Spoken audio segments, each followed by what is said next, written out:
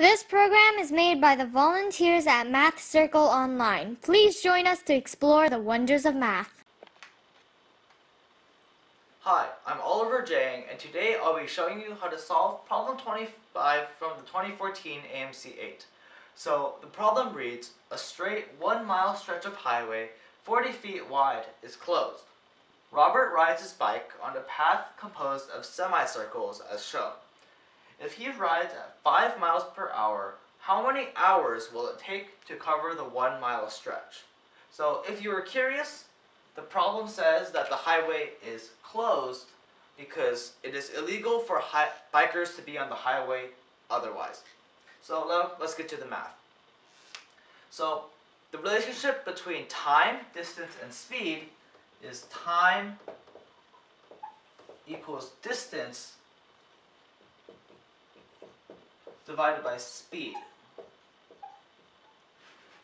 So in this problem, we are given the speed and we want to find the time. And we are also given a way to find the distance. So let's begin by finding the distance. If we complete the semicircle right here,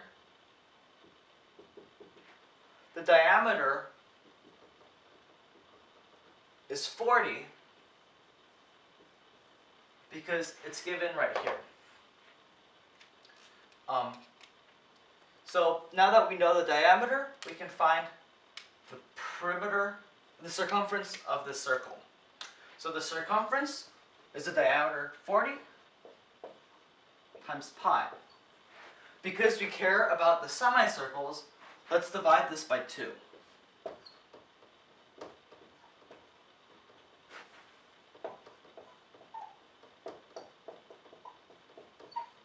So now that we know the length of the semicircle, we should find the number of semicircles in this path. So because the diameter is 40, this diameter is also 40, so this length right here is also 40 feet. It's given that the path is one mile long, so that's 5,280 feet.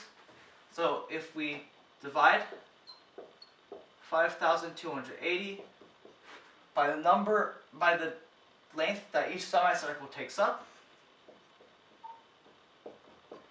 This should give us the number of semicircles.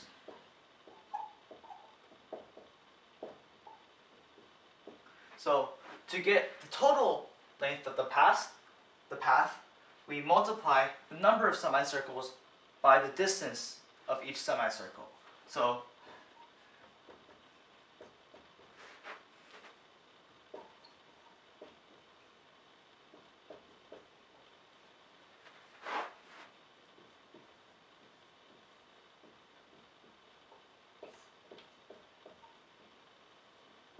we can simplify this by canceling the 20 and the 40 to get a 2 right here. Um, we'll leave further simplification for later because it's more convenient this way. Um, so now that we know the distance and also the speed, we can find what the time is. So the time equals the distance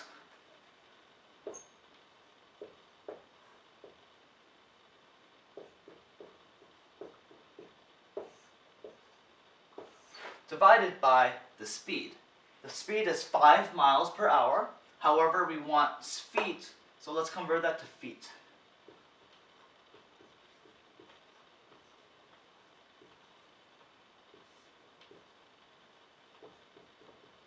So we can cancel out these 5,280s. And after we simplify this, we get pi over 10 hours.